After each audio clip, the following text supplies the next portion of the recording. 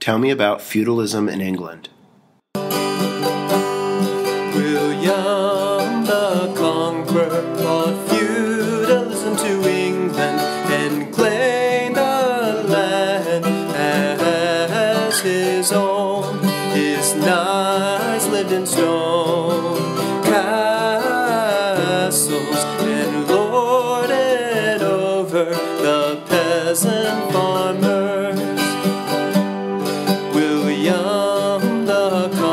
were brought feudalism to England and claim the land as his own. His knights lived in stone castles.